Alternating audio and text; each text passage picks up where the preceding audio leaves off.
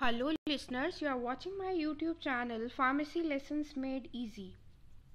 The topic for today's video is passive immunization.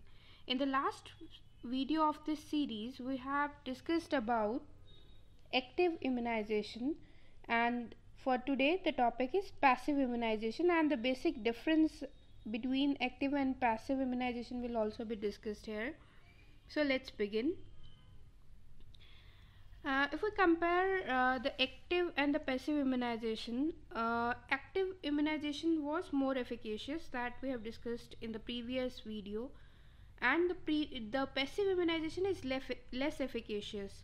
The reason for this is uh, the passive immunization is being done inside the body by artificial or you can say on the spot antibodies right? They are not produced by the host itself. They are being manufactured outside either in another person or in the animal body uh, who have been actively immunized. That means this passive immunity is the next step to active immunity itself right? So it is less efficacious. Obviously it will take less duration of uh, action for it to get executed. What i mean to say is the uh, it will take less time for it to get effectively enter inside the body and show its biological or therapeutic effect.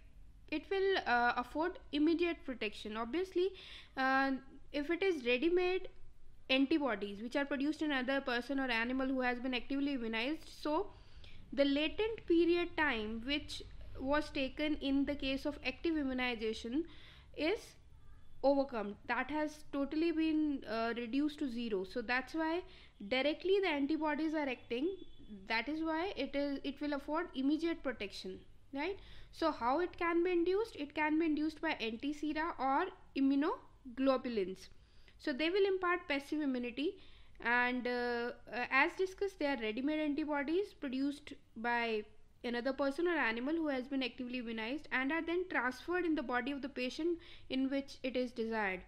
So this is uh, not prophylactic in nature as was the case with active immunization rather it is curative in nature. Okay, uh, so uh, acutely ill, debilitated or immunocompromised individual may not be able to generate adequate antibody response. Therefore, they will require passive immunization and uh, the curative action by passive immunization. Okay? So the next question is how the sera or immunoglobulins will impart active immunity?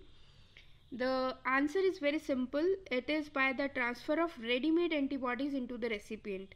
How they the ready-made antibodies will be prepared? By using the another body of another person or animal which has been actively immunized right? Hope you understood this. If you like the video please click on the like button do subscribe my channel and share it on social media. Thank you very much